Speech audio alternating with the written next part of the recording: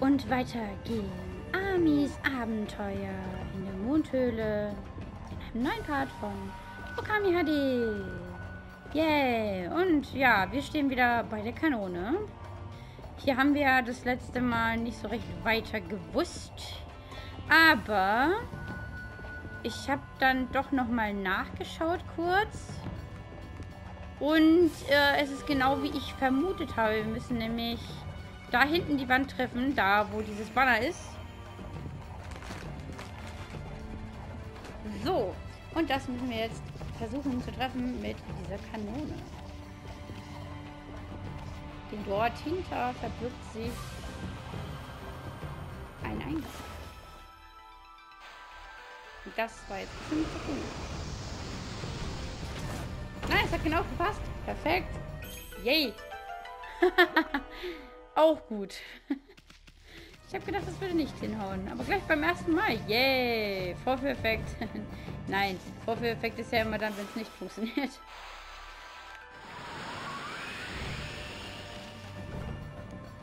Aber dass das jetzt gleich beim ersten Schuss funktioniert, hätte ich jetzt nicht gedacht. Stimmt, man müsste hier ein Loch reinschießen. Ich meine, irgendwie war es, war es ja klar, dass man irgendwas damit aufspringen muss. Weil die Kanone steht ja da nicht umsonst. So, dann schauen wir doch mal, was uns hier erwartet. Okay, sind lauter kleine Steinchen. Oh, ein Gegner.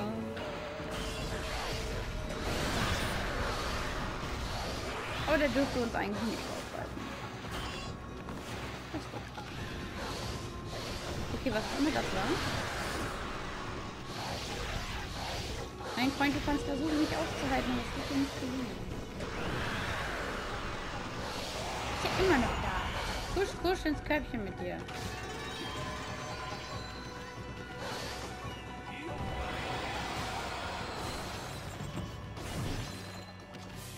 Was für ein Empfang, würde ich sagen.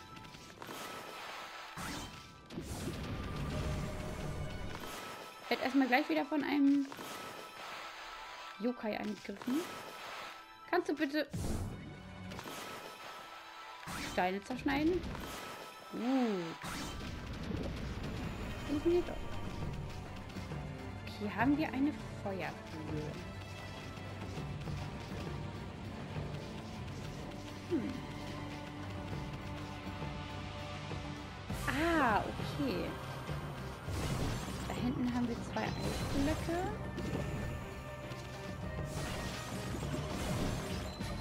Erstmal ein bisschen die Krüge plündern.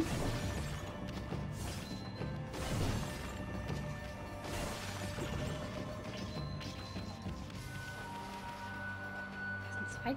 Okay, da sind tatsächlich... Okay, warum kriege ich den hier nicht kaputt? Yep. Da ist ein Apfel drin.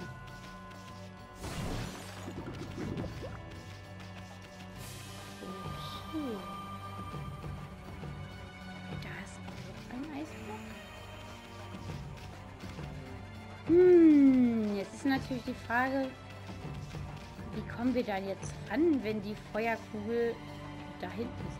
Ah, Moment mal.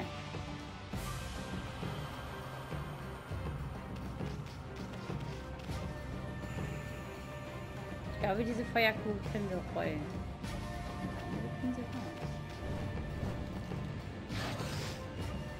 Ja, okay.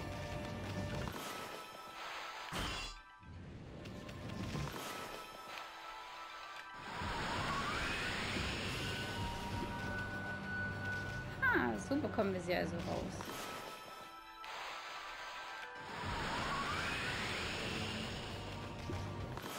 Schön, jetzt dürfen wir eine Feuerkugel durch die Gegend schieben, aber wir dürfen sie natürlich nicht berühren, weil wir sonst Schaden nehmen. Upp. Ich brauche meine Tinte zurück. Ich meine, ich könnte sie jetzt gleich wieder aufladen. Aber hey, wir sparen uns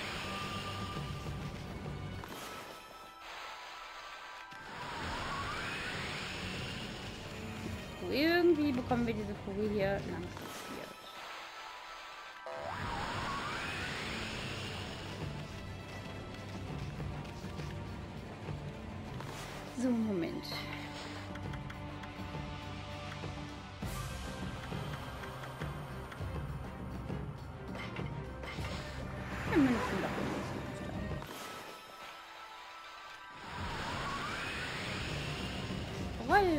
Feuerkugel, roll. Rolle, rolle, rolle. So, so ein bisschen rollen musst du schon noch.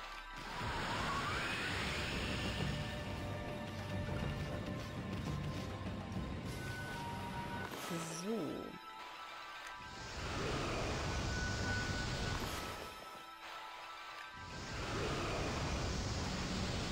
Uh, da ist ein Schirm, ein Durchgang. Ah, okay, ich sehe da schon ein Yoga-Tor. Ähm. Wir bringen aber auch schon mal die. Boah, aua! Das war nicht mein Plan gewesen. Die anderen Eisblöcke hier zum Schmelzen. So, das reicht.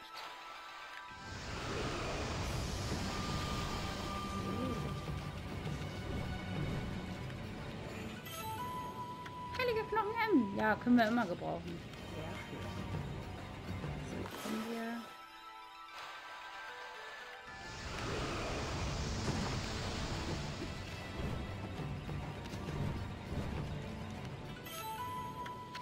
Und Lackwarm-Set. Ja, warum nicht? So, mehr ist hier oben, glaube ich, auch nicht. Nein, es sieht nicht danach aus. Okay. Dann können wir jetzt also hier hoch. Okay. Attacke!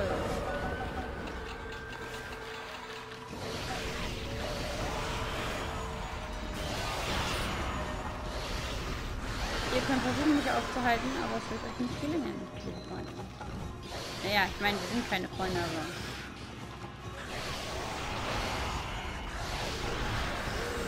Hm, das will nicht funktionieren. Der scheint immun gegen diese Tintenstriche zu sein. Oh, hab ich ihn besiegt.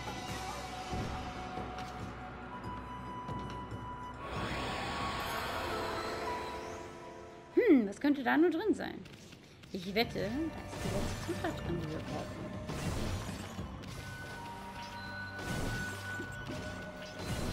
Aber vorerst Vögel plündern. Das ist jetzt erstmal wichtiger. Nein.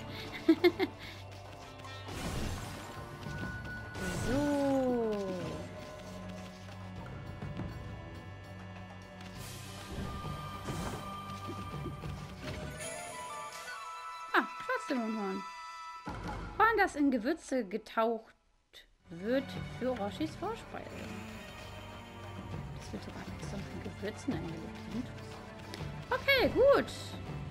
Damit dürften wir jetzt eigentlich die letzte Zutat gefunden haben. Es waren ja insgesamt nur vier. Drei oder vier? Ich meine vier. So, jetzt raus hier. Jetzt müssen wir nämlich wieder nach unten.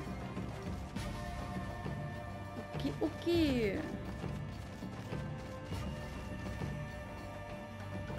Also ganz runterspringen will ich aber auch nicht. Bei uns passiert ja eigentlich nichts, wenn wir jetzt runterspringen. Hui. Da, alles noch heil. So, dann wollen wir dem Dudski mal die letzte Zutat bringen, also den Krug.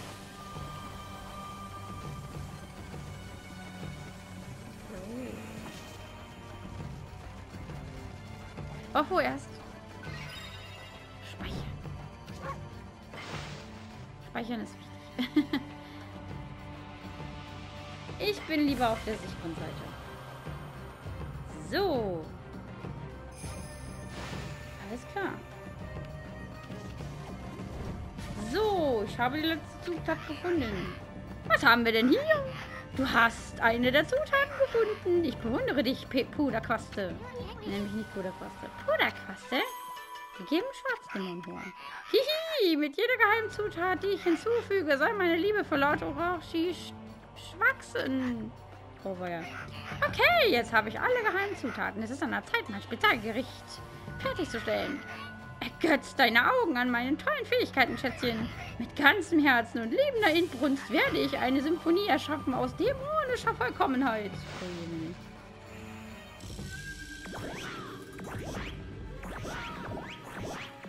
Du kannst aber schön jonglieren.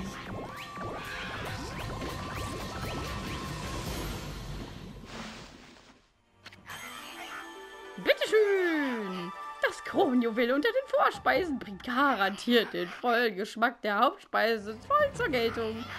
Hier ist mein ultimatives Meisterstück. Misthaufen Schleimeimer Gulasch. Klingt sehr appetitlich. Dadurch wird die Hauptspeise Kushi tausendmal besser schmecken. Nun, wir dürfen Lord Orochi nicht warten lassen, Schätzchen.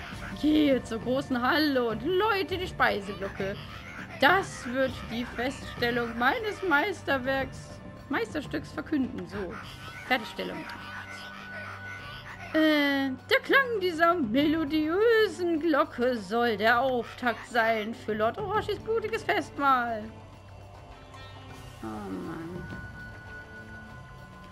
Ich sollte vielleicht vorher nochmal speichern. Nur zur Sicherheit. Denn wer weiß, was uns jetzt gleich erwartet. Ich denke, es ist ja sehr wahrscheinlich, dass wir gleich Orochi gegenübertreten dürfen. Eigentlich möchte ich die Glocke nicht läuten. Aber wir müssen die Glocke läuten.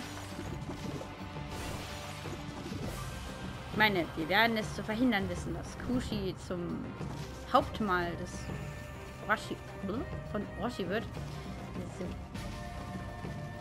Dann wollen wir doch mal schauen. Kann ich eigentlich...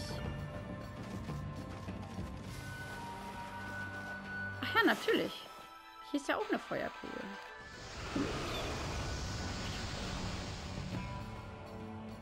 Ach, sehr schön. Hier ist also auch ein Wasserbehälter. Aber gut, wir wollen jetzt die Glocke läuten.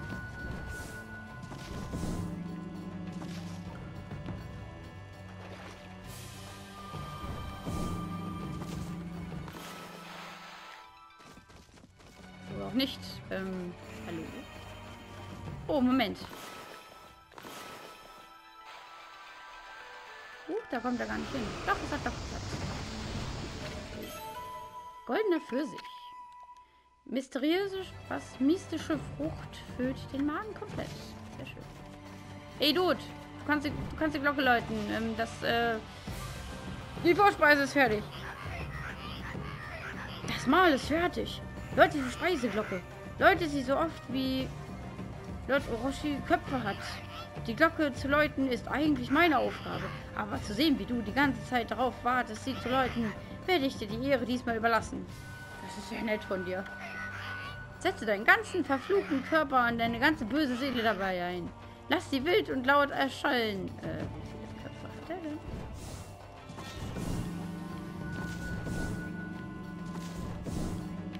glaube, es waren sechs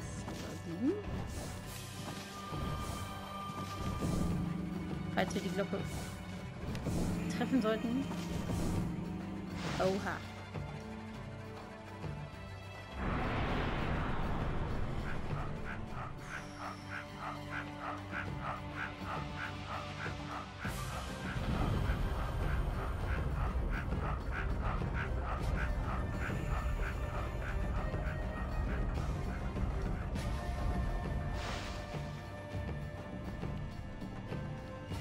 Fährt sie hinauf, die Vorspeise. Oh, ist ja schon wieder unten. Ähm, wo kommen wir denn jetzt eigentlich nochmal hin, wenn wir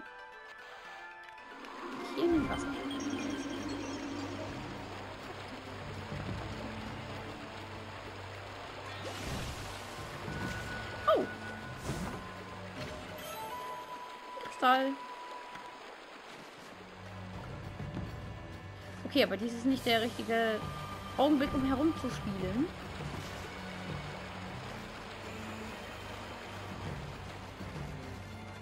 Ey, du.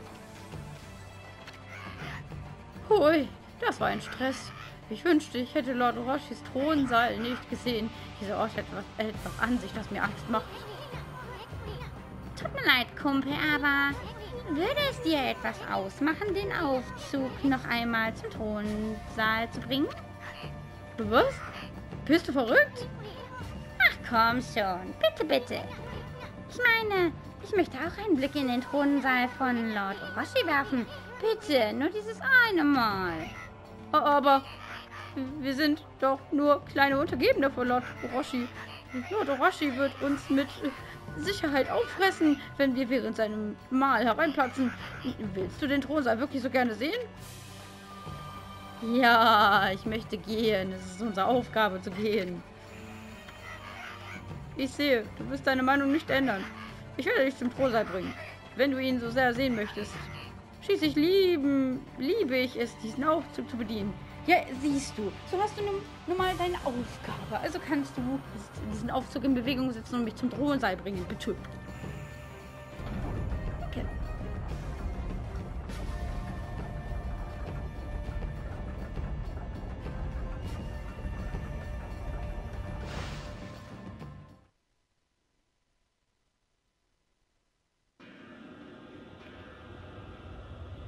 Oh, wir müssen auch noch Treppe laufen. Sowas aber auch.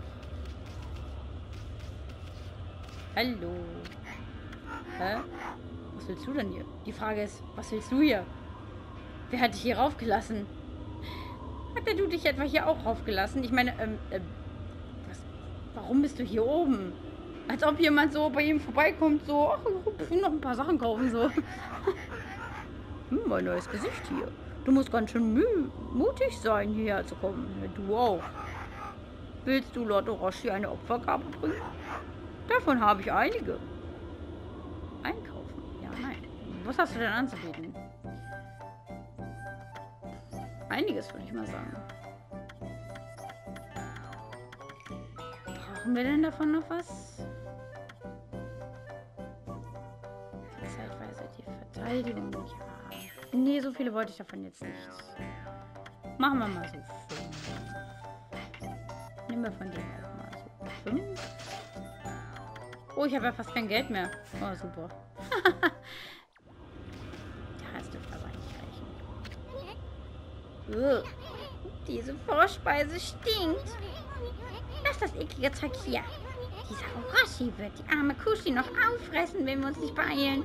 Los, weiter. Lass uns diesen Riesenwurm finden. Boah, den werden wir schon finden. Aber Moment, ich möchte kurz... Spiel mit Loch der Unendlichkeit richtet das, richtet das Böse.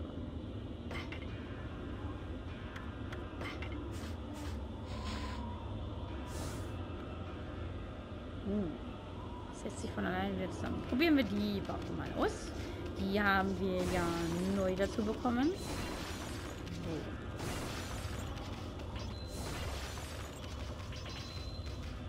Natürlich, bevor der wahrscheinlich Show, große Showdown gleich losgeht, vorher noch ein paar Krüge plätten. Ich kann einfach nicht anders. Leute, es ist genau das gleiche Phänomen, es ist genauso das gleiche Phänomen wie bei Zelda. Immer muss ich die Krüge kaputt machen. Ich meine, man weiß ja nie, was man dahinter findet, ne? Drunter findet, drinnen findet, was auch immer. So. Okay. Ein Schnellspeicherpunkt. Hinauf.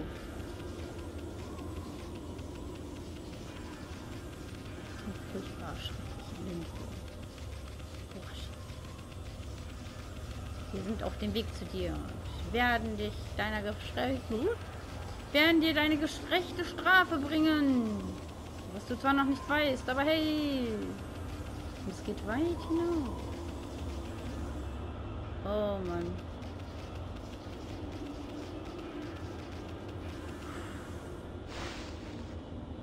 Okay.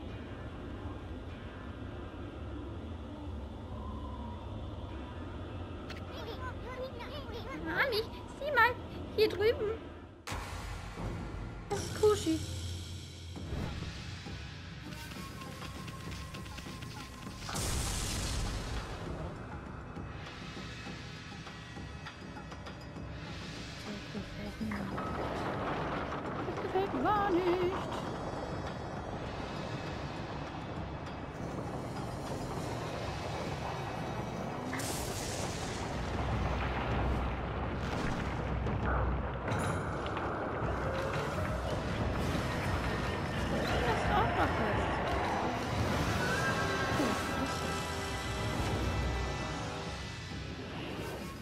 Rashi. Oh, wilder Gott, der Himmel. Hundert Jahre sind vergangen, seitdem du mich hier eingesperrt hast.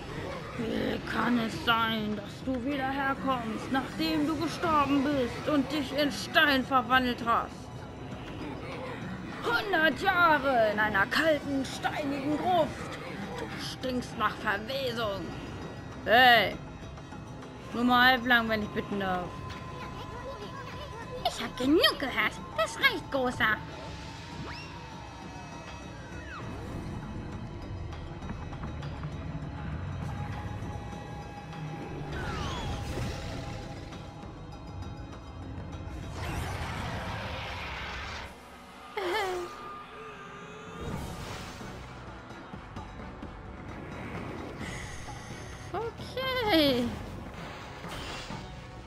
Also gegen ihn kämpfen. Sehr schön. Dieser Cheater hat ein Schutzschild. Was sollen wir jetzt tun? Irgendwelche klugen Ideen, Fake neu?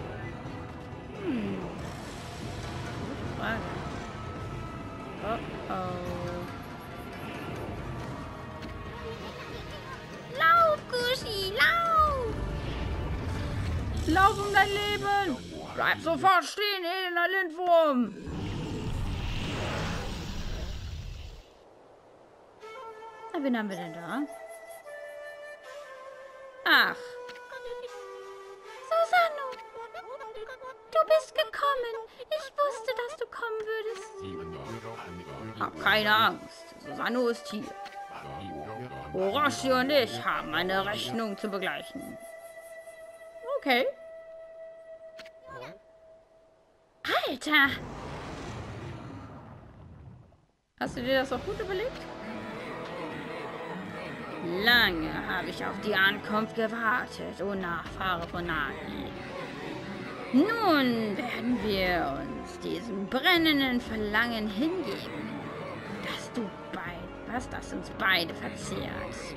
Die Nachfahren von Nagi haben mich hier über 100 Jahre eingesperrt. Aber jetzt ist diese verfluchte Blutlinie, welche meine wahre Macht entfesseln wird. Ein Pakt zwischen Nagis Nachfahre und mir, dem großen Orochi. Seine finstere Kräfte gehen jenseits aller Vorstellungskraft. Lasst uns diesen Blutpakt für alle Ewigkeit besiegeln. und was zur Hölle spricht dieser Lindwurm da? Ein Blutpakt mit Susano wird die wahre Macht von Orochi entfesseln? Oh er, der Macht sucht, deine erste Chance ist vertan. Aber jetzt ist die Zeit gekommen, unseren ewigen Bund zu besiegeln. Sprich die Worte. Ich wünsche Finsternis über die Welt. Sprich dieses Gebet zu mir und besiegel unseren Blutpakt. Auch du sollst finstere Kräfte jenseits aller Vorstellungskraft haben. Orochi führt Susano in Versuchung. Ich wette, dieser verschlagene Lindwurm war es, der dem Alten die Albträume beschert hat. Sprich das Gebet. Lass die Worte ganz tief in dir heraus. Wiederhole die Worte unseres Blutpaktes.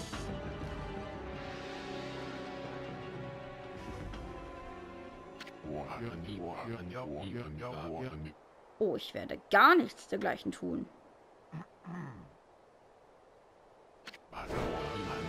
Ich bin ein Nachfahre von Nagi. Merke dir, ich bin Susano, der größte Krieger aller Zeiten. Höre, widerwärtiger Lindwurm, der du Gewalt dieser hilflosen Frau antun willst. Deine Zeit ist vorbei. Spüre den Zorn meiner treuen Klinge.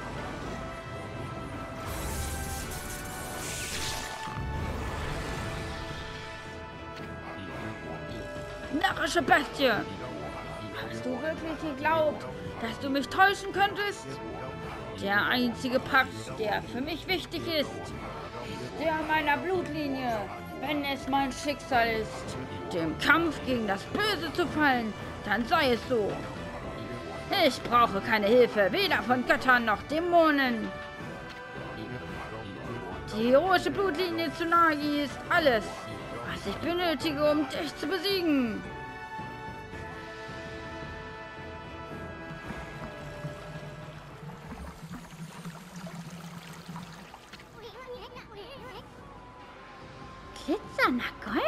Goldsake. Ist das der Ach-Purifikationssake, Ami? Ah, scheinbar. Hm. Sind diese Decken gelaufen? Susanne und Kushi haben ein Wunder vollbracht. Zeit, deine Magie einzusetzen, Ami.